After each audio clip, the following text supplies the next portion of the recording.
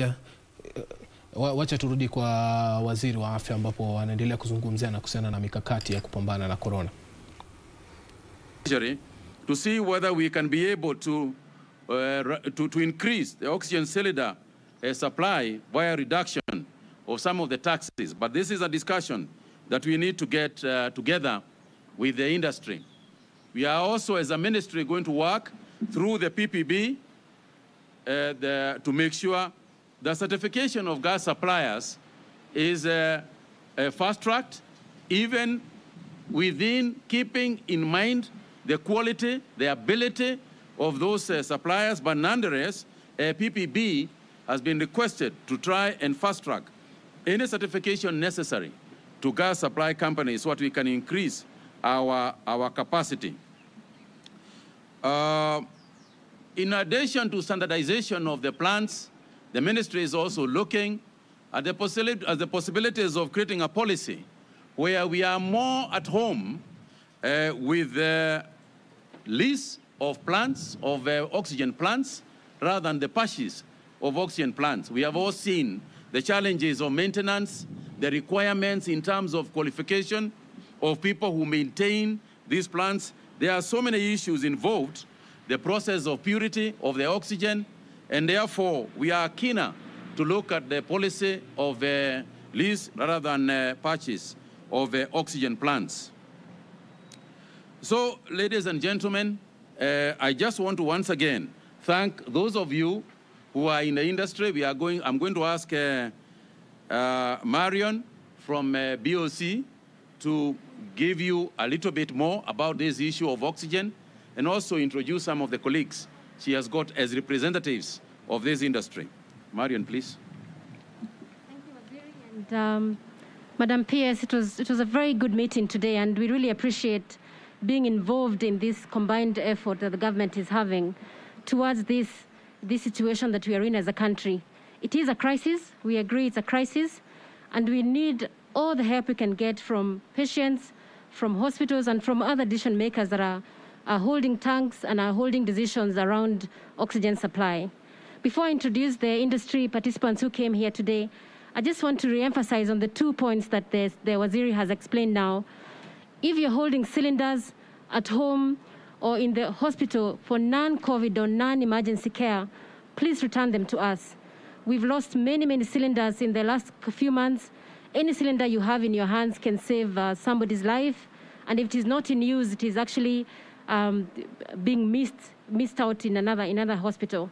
Um, I want to just thank everybody for, for those who, who have been very patient with us during this time. We are now supplying oxygen on a day to day basis, rationing what we have uh, so that every hospital ca- can find.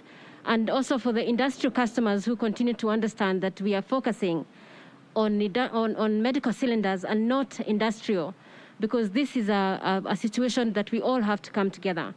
We're very keen, our Waziri, to work with the ministry going, going, going, going forward uh, to, to give you the information on what we can do and what additional resources or support systems that we need. And we already appreciate the support that you gave us this morning. So, as BOC gases, I'm here with John Kamau, our healthcare engineer. Uh, thank you, John, very much for especially working very hard to put in piping in the hospitals, which was actually the second big, big priority to pipe the hospitals. Um, I'm here with Raj from Gas Africa, and um, we've got Synergy Jaspal from Synergy Gases on, on, on, on that side. Um, thank you much, very much, everybody, and thank you, Waziri, for this opportunity. Okay, thank you very much. Uh, Raj, you want to say anything? Yep, thank you uh, very much, the CS, for the audience this morning, and PS and the Ministry for uh, supporting all our gas manufacturers, packers, distributors uh, within Kenya. Um, obviously, being uh, competitors, we have to take the decision what is right. Uh, life will always come first. It is right that we come together, find the solutions, whether it's PSA plants, erection, installation, commissioning, um, Gas Africa are here obviously to mo- promote that uh, in, into the hospitals. Uh, John, uh, BOC is obviously fronting that uh, also, uh, as our friends now on, at uh, Gas. Um, just to echo Marion uh, and CS, any cylinders that you're holding in excess or by bedsides or in homes, or you find belonging to any of our companies or any indeed of those manufacturers that couldn't be present today, if they could be brought back or notify those manufacturers, they can be recalled. Uh, we're making all efforts uh, to the healthcare industry. We've also sent out circulars to industries to say that we will only be filling medical cylinders in the foreseeable future. We are here to serve the people of Kenya. We appreciate your patience. Uh, we are delivering through the night. We are running day shift, night shift, 24 7. We are open to collections. Uh, kindly bear with us. Uh, we know your orders have increased five, six-fold in some cases. We, we are trying to serve all of our customers. We're not taking on any new customers. We're splitting all the production capacity that we have. Um, so we would like you just to bear with us as we are also investing in capacity in cylinders, in plants, trying to uh, come to SLAs with other companies to pack for us. We are here to serve you, and we would appreciate your ongoing understanding. And uh, thank you once again to the Ministry and CS and PS for their audience this morning, and uh, Marion and the team at BOC. Thank you very much. Asante sana. Falgun, you, have anything to add? No?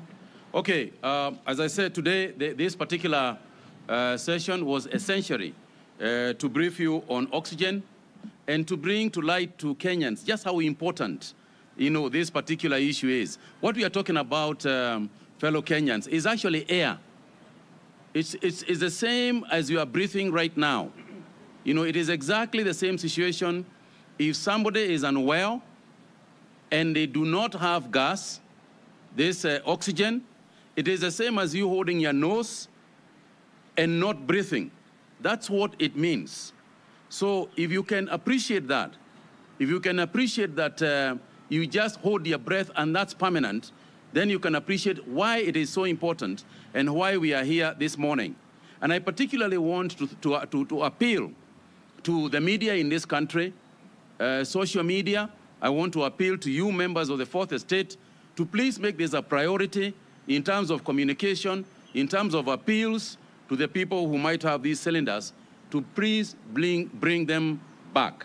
We need them as a matter of urgency uh, so that we can be able to continue saving lives. Other than that, the rest of the briefing will come um, through the normal channels at uh, a later time. Thank you all very much. Any questions? I, I think the only thing to add is uh, the issue of uh, the actual demand uh, in the industry and what has transpired over the last only couple of months. Um, last year, we were to, we, the, the, total production and requirement for the industry was about 410 tons. That quickly went up around uh, January to about 560 tons. We are now heading for demand of double what we started at 410 at 880 tons. So where the, the situation at the moment is such that the industry is completely stretched. And if we go any further than that, then some uh, immediate steps will be, have to be taken. I also want to uh, uh, take this opportunity to also thank the industry that normally uses the oxygen or supply from the companies that are here today, particularly the horticultural industry, the food industries, that use a lot of, um, that use supplies from these companies, because some of them have stopped the industrial production so that they can concentrate on health. This is going to inconvenience the industry a lot, but we beg for their understanding. At the moment, the idea is to save lives first, and then we can deal with other things later. Asanteni, thank you all very, very much indeed.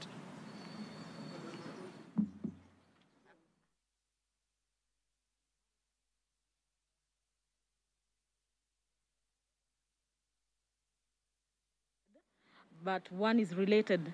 You've spoken about piping of uh, oxygen in hospitals. So far, how many hospitals have been uh, have uh, piped oxygen in the country?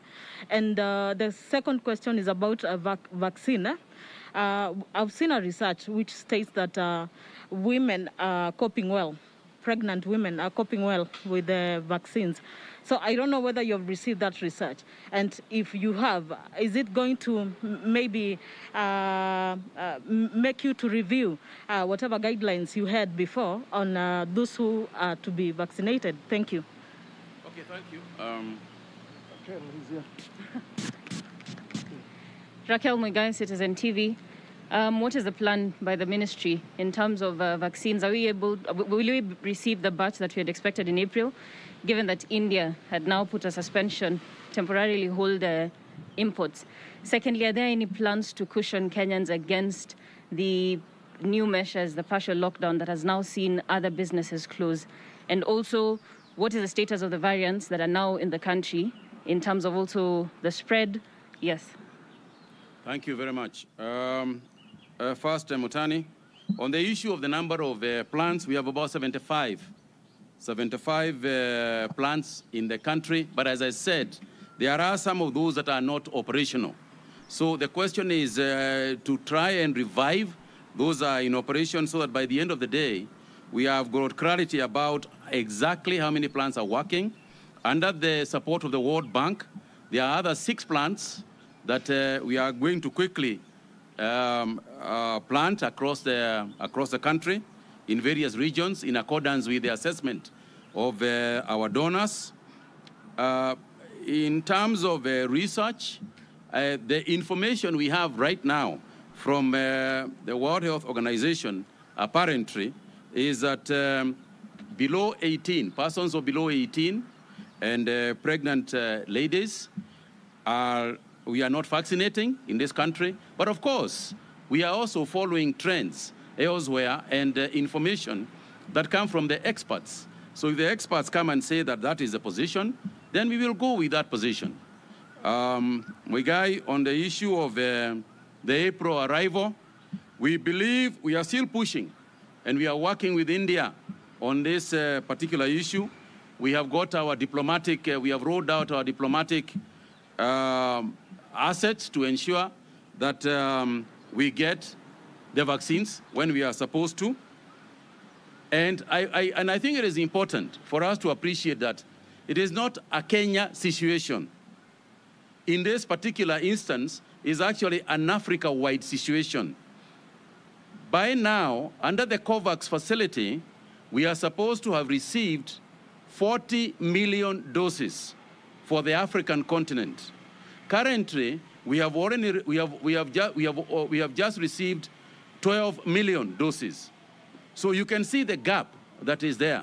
And uh, our appeal, not just to India, but to other countries, is that we reduce vaccine nationalism so that uh, there is fair and transparent uh, uh, distribution of uh, vaccines. So we are, we are working on this. We are working with the, with the, with the Ministry of Foreign Affairs in Kenya, working with the, the Indian uh, embassy here in Nairobi to ensure that uh, we get what has been promised. Because on the basis of the promises, we make certain plans. We start vaccinating on that basis. And therefore, we would like to believe that uh, the suppliers are going to live up to the expectations and to their promises. On the issue of uh, the partial lockdowns and uh, what we are going to do, of course, uh, we always meet up. You remember the last time that is exactly what happened. We meet up as a government, as a, a non-agency approach or ministry's approach to discuss and find out what is it we can uh, be able to do to ease the, the, the very, very expensive, um, it's very expensive for, for, for people, particularly in the business sector, to see what, what we can do. But I cannot give you a specific, um, uh, a specific answer to that right now. The variants, as I said, and as uh, we reported last week, essentially what we have here is a, is, is a continuing variant that we had all the way from last year. However, there has been detected, there has been detected some other variants. For example, the British variant, uh, as well as uh, the South African variant towards us, particularly to, to, to, the south with the border with uh, Tanzania. But so far, the dominant variant that we have is still the same one that we have always had. Thank you very much indeed.